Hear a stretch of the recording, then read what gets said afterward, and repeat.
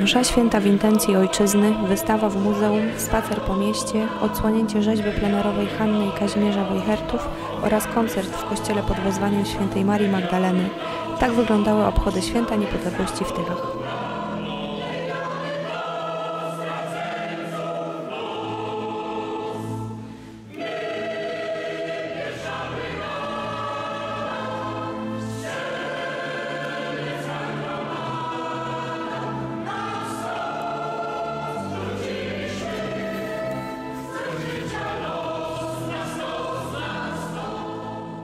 Jedenasty listopada to święto narodowe. To święto, kiedy cieszymy się z tego, że umiłowana ojczyzna po 123 latach odzyskała niepodległość. To dzień, w którym nasz naród narodził się na nowo i wróciły wszystkie nadzieje Polaków. Wielu naszych przodków w tej walce straciło i krew, i czasem życie.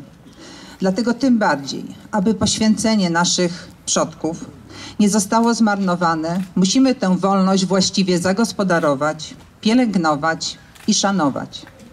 Żyjemy w wolnej Polsce.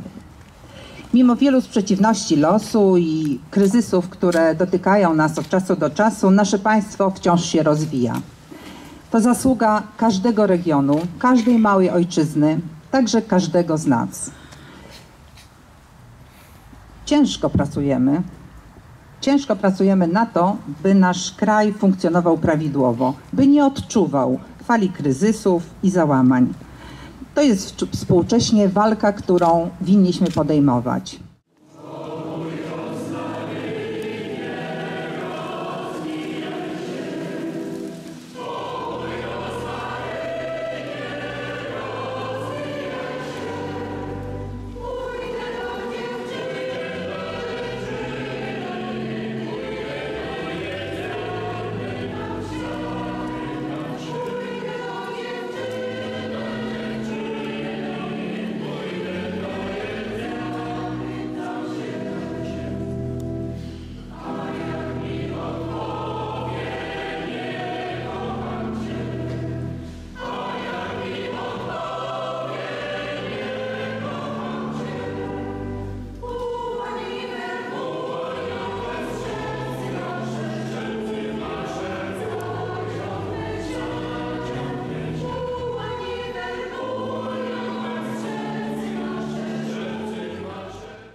Tym roku mamy spacer nieco inny od Placu Wolności do Alei Niepodległości, bo mamy dwie nazwy, jeśli chodzi o plan miasta, nazwy placu i ulicy, które nam przypominają o tym, że my, Polacy, y, chcemy pamiętać o ważnych wydarzeniach y, z historii naszego kraju, narodu i również w nazwach miejscowych y, tę pamięć utrwalamy.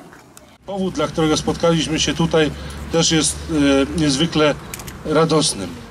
E, nie chcemy nazywać tego, co tutaj za chwilę się stanie, e, odsłonięciem, dlatego że e, nie ma powodu, żeby cokolwiek odsłaniać.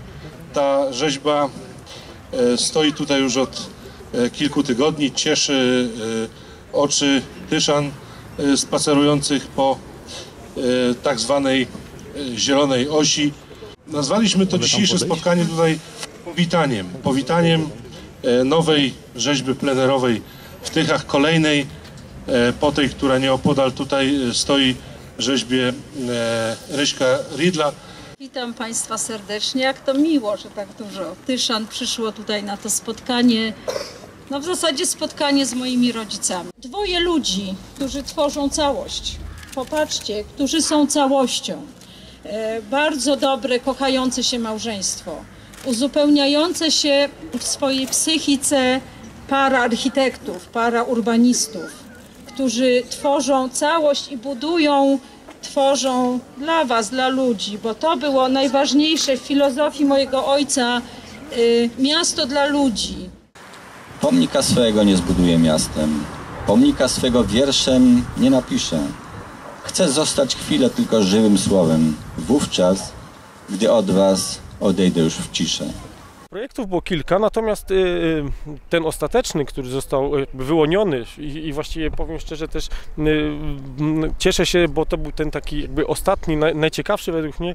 Y, Duży wpływ na, jego y, kompozycję miała wystawa w muzeum. Kiedy zobaczyłem właściwie tam wcześniej miałem troszkę zdjęć, ale tam jak poglądałem zdjęcia ich jakieś takie bardziej y, osobiste, jakieś takie dyskusje, tam było widać y, y, odmienne charaktery y, y, architektów i to właśnie chciałem pokazać w tej rzeźbie, że jedna osoba mm, bardziej próbuje coś narzucić, druga osoba mm, zastanawia się, no na zasadzie takiej jakby y, y, powiedzmy takiego cichego dialogu y, małżeństwa. Połączeni są z racji tego, że tychy ich też połączyły i tak właściwie tutaj do końca już zostali razem. Y, Dodatkowo doszła jeszcze ta deska kreślarska jako taki pewien symbol, który y, podkreśla to, że byli architektami, a poza tym y, z racji tego, że jest to forma ramy, daje możliwość widzowi obejrzenia sobie tychów, jakby powiedzmy, z punktu widzenia e, architektów.